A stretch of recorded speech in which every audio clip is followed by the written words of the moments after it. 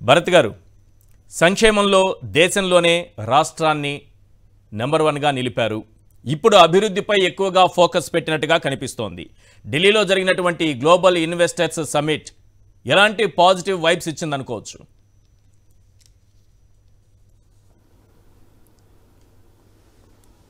ఒకటి అక్కడ మీడియాలో ఉన్న మిత్రులందరికీ కూడా నమస్కారం అండి.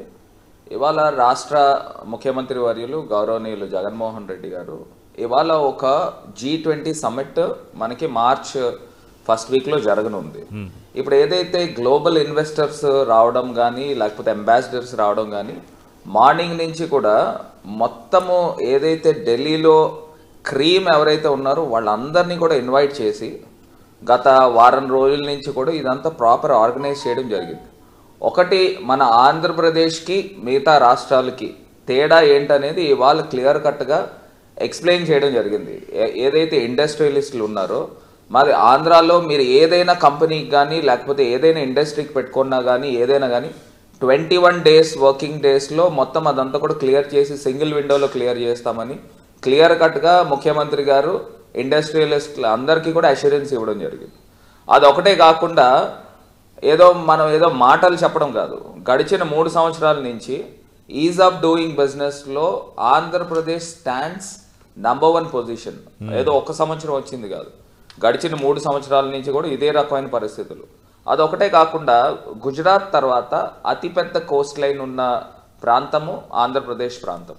మరి ఇవాళ ఈవినింగ్ కూడా మధ్యాహ్నం పోస్ట్ లంచ్ కూడా జరిగిన సమ్మిట్లో కూడా మీటింగ్లో కూడా అక్కడ సిఐఐ నుంచి సిఐఐ సౌత్ నుంచి వాళ్ళ ప్రెసిడెంట్స్ వాళ్ళందరూ కూడా రావడం జరిగింది వాళ్ళు కూడా చెప్పడం ఏంటంటే ఆంధ్రప్రదేశ్ జియోగ్రాఫికల్గా టాపోగ్రాఫికల్గా అటు విండ్ ఇటు అదేవిధంగా సోలార్కి కూడా రెండాటికి కూడా మ్యాచ్ అయ్యే స్టేట్ కిందన అభివర్ణించారు అదొకటే కాకుండా ఇప్పుడు మనం మనం కూడా చూసినట్టయితే ఆ హైబ్రిడ్ మోడల్ ఏదైతే ఆ ఫైవ్ థౌజండ్ మెగావాట్స్ది మనకి గ్రీన్ కోక్ సంబంధించి ఏదైతే ఒక wind solar hybrid model. Hmm. అంటే ఏదైతే ఇప్పుడు మనకి సోలార్ ఉందనుకోండి అది ఓన్లీ మనకి సూర్యరశ్మి నుంచే మనకి దాని నుంచి మన పవర్ జనరేట్ అవుతుంది.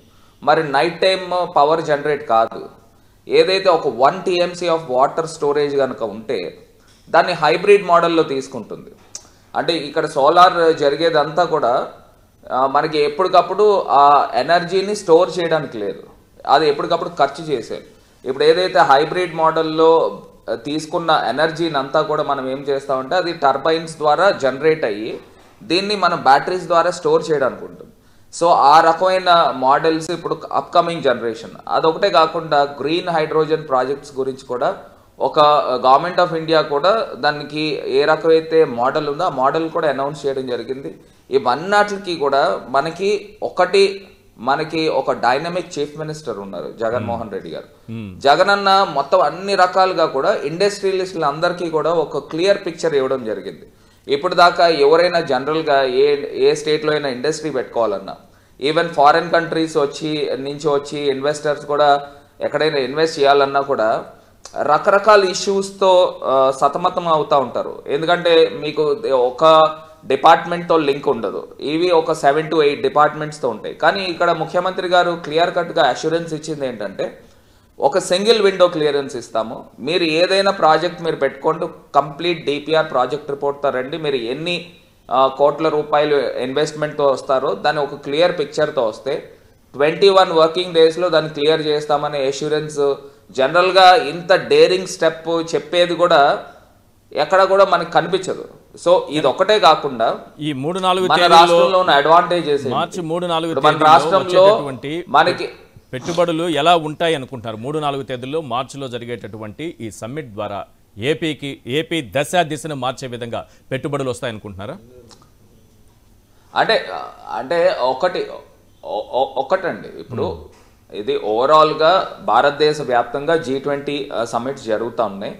ఇప్పుడు మనము ఆతిథ్యం ఇస్తా ఉన్నాము. మూడు నాలుగు తారీఖుల్లో వైజాగ్లో మనం ఆతిథ్యం ఇస్తా ఉన్నాం ఆ ఆతిథ్యంలో కూడా అసలు వైజాగ్ అసలు పొటెన్షియాలిటీ ఏంటి?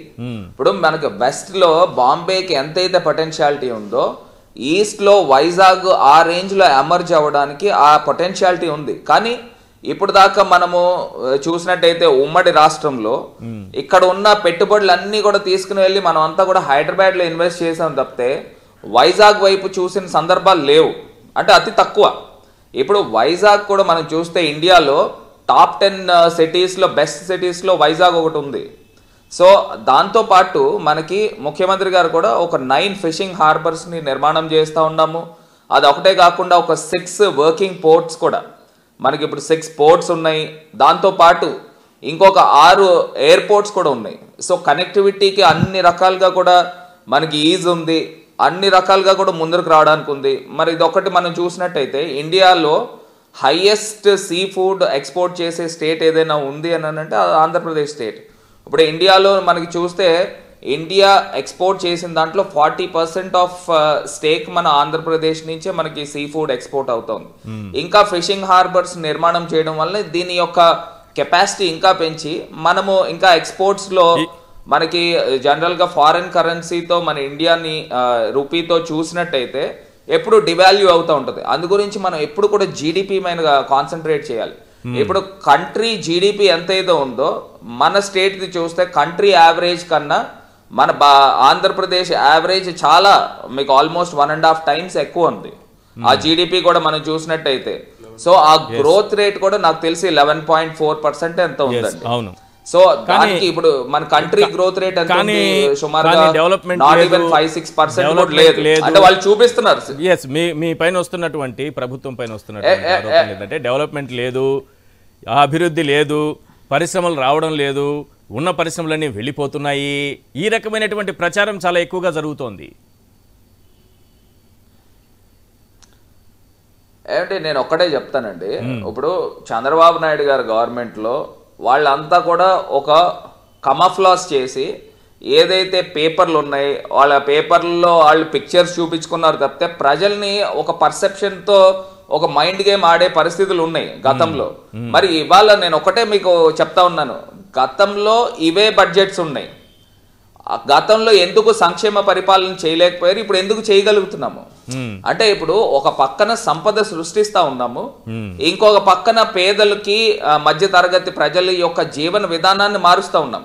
ఇప్పుడు మీకు ఒకటే ఫెయిర్ ఎగ్జాంపుల్ చెప్తానండి. ఇప్పుడు సగటున లాస్ట్ గవర్నమెంట్లో ఏడాదికి సుమారుగా పదకొండు వేల తొమ్మిది వందల కోట్ల రూపాయల పెట్టుబడులు వస్తే మరి ఇవాళ జగనన్న వచ్చిన తర్వాత ఏడాదికి per year fifteen thousand and odd crores fifteen thousand six ninety five crores వస్తా ఉంది. మరి ఇదేదో నేను చెప్పిన లెక్కలు కాదండి. ఇప్పుడు వాళ్ళకి కావాలంటే రికార్డ్స్ కూడా మేము చూపిస్తాం. ఇప్పుడు last time eleven thousand crores ఎక్కడ? ఇవాళ fifteen thousand six hundred crores ఎక్కడ? చంద్రబాబు ఇదే. విశాఖ వేదికగా ఆ, ఇదే విశాఖ వేదికగా ఇదే- విశాఖ వేదికగా చంద్రబాబు పెట్టినటువంటి పెట్టుబడుల సదస్సులో ఇరవై లక్షల కోట్ల రూపాయల పెట్టుబడులు వచ్చేసాయని ఎంవైలు కూడా కుదుర్చుకున్నారు మరి అవన్నీ ఎక్కడ కనపడలేదు మాకు? మీరు చూపించలేదా? ఆయన చేసుకోలేదా? అంటే కాదండి ఇప్పుడు నేను అదే అంటున్నా ఒక మీడియా పబ్లిసిటీని ఏ రకంగా చేయాలి ఇప్పుడు నాకు తెలిసి మా మా రాజమండ్రి నుంచి కూడా కొంతమంది సూట్లు వేసుకుని వెళ్ళిపోయి వాళ్ళు ఐదు కోట్ల రూపాయల అగ్రిమెంట్లు రాసుకున్నారు. అక్కడ అక్కడ వాళ్ళు ఏదైతే ఇన్వెస్టర్స్ మీట్ పెట్టారో చేయడానికి కావాలంటే ఇంకో రెండు మూడు ఎగ్జాంపుల్స్ ఇస్తాను టీడీపీ ఆఫీస్లో పనిచేసే. అతనికి సూటు తొడిగి చేతికి సూట్ కేసు. ఇచ్చి అతన్ని నిలబెట్టారు. ఫోటోలు దిగారు ఎంబోయిలు కుదుర్చుకున్నారు అక్కడికి అతను ఆఫీస్ బాయ్. తరువాత ప్రకాశం డిస్టిక్లో ఈ కాలేజీలో సీట్లు ఇప్పిస్తారు కదా. ఇక ఎందుకులేండి ఆ పేర్లు? ఆ- ఆ ఆ వ్యక్తి అక్కడ వచ్చేసి కొన్ని కోట్ల రూపాయల ఎంబోయులు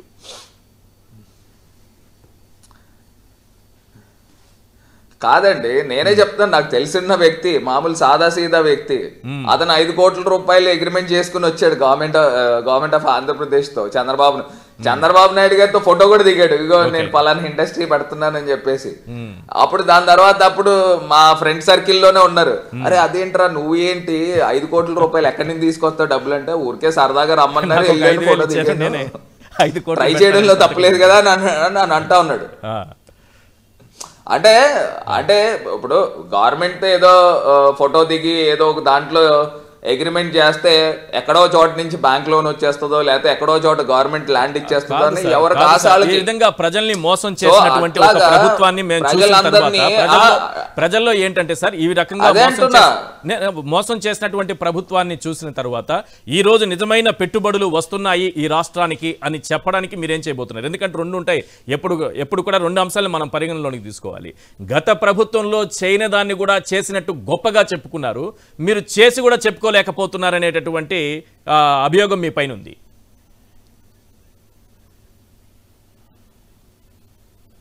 అదే ఇప్పుడు ఒకటండి.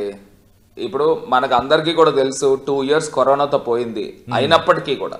మనం ఏ రకంగా వేగం వేగవంతం చేస్తున్నాం అనేది ఇప్పుడు మా మా రాజమండ్రి పార్లమెంట్ కాన్స్టిట్యున్సీని తీసుకోండి. రాజమండ్రి పార్లమెంట్ కాన్స్టిట్యున్సీలో కెమికల్ ఫ్యాక్టరీ తీసుకుని వచ్చాము. ఆదిత్య బిర్లా వాళ్ళ chemical factory almost two thousand eight hundred crores తోనే ముఖ్యమంత్రి గారే వచ్చి దాన్ని ఇనాగ్రేట్ చేయడం కూడా జరిగింది. వాళ్ళు కూడా దే ఆర్ సో హ్యాపీ. మేము ఎక్కడో బాంబే సైడో మహారాష్ట్ర సైడో గుజరాత్ సైడో పెట్టాలని అనుకున్నాము.